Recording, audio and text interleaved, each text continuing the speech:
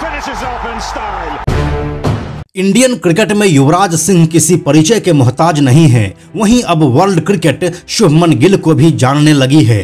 बीते कुछ ही महीनों में शुभमन गिल टीम इंडिया के लिए तीनों फॉर्मेट में एक स्पेशल खिलाड़ी बन चुके हैं और उनके ऐसा बनने में युवराज सिंह का बहुत बड़ा योगदान है।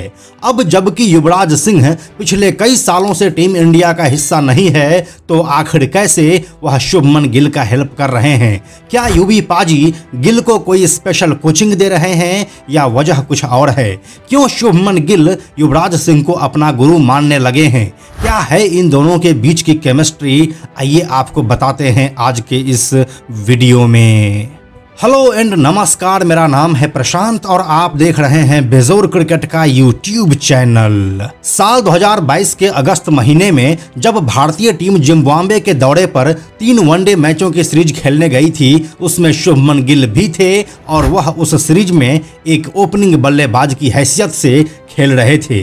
इस सीरीज़ के तीसरे और आखिरी मैच में शुभमन गिल ने शतक लगाया और टीम को जीत दिलाई। वनडे में बेहतरीन शतकीय पारी खेलने के बाद गिल ने पूर्व दिग्गज ऑलराउंडर युवराज सिंह की सलाह को याद किया।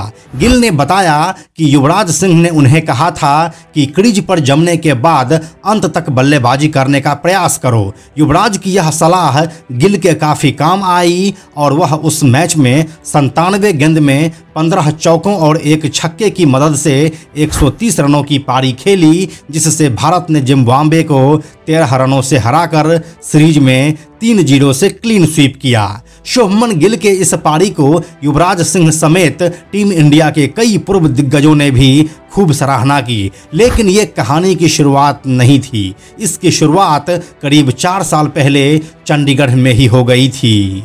ये बात तो हम सभी जानते ही हैं कि शुभमन गिल पंजाब से आते हैं और स्टार ऑलराउंडर युवराज सिंह भी वहीं से बिलोंग करते हैं। ऐसे में जब शुभमन गिल पंजाब के लिए घरेलू क्रिकेट खेल रहे थे, उस समय युवराज सिंह और हरभजन सिंह जैसे सीनियर प्लेयर्स ने उनका साथ दिया और काफ़ी कुछ सिखाया। लेकिन शुभमन को युवराज सिंह का साथ कुछ ज़्यादा ही भा गया और वो लगातार उनसे मिलने लगे।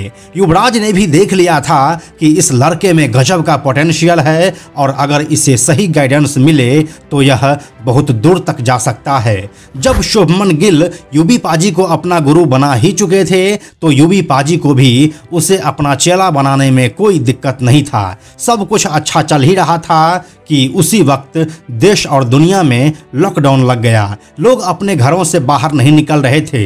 ये शुभमन गिल के लिए अच्छा मौका था अपने गुरु से ढेर सारे गुरु मंत्र सीखने का, और वह ऐसा किए भी। वह लॉकडाउन के समय युवराज सिंह के पास जाते थे। वहीं पर वह अपना अभ्यास करते जिम करते और दोनों बैठकर खूब गपशप भी करते। युवराज को शुभमन ने अपना मेंटोर और गुरु बताया। आप एक बात को और नोटिस किए होंगे कि शुभमन गिल के बल्ले पर एक अजीब सा लोगो लगा होता था। वो कोई आम लोगो नहीं है, बल्कि युवराज सिंह के फाउंडेशन यू वी कैन का एक लोगो है, जिसे शुभमन गिल अपने शुरुआती दिनों में खूब प्रमोट किए थे। युवराज सिंह भी कई मौके पर शुभमन गिल की तारीफ़ कर चुके हैं। फिर वो चाहे सोशल मीडिया के ऊपर हो या किसी इंटरव्यू में युवराज सिंह के हिसाब से शुभमन गिल एक रेयर टैलेंट है, जिसे भरपूर मौका मिलना चाहिए। और यूबी पाजी के इस बात से हम सभी इत्तेफाक भी रखते हैं। अगर आप शुभमन गिल के पूरी कहानी को देखना चाहते हैं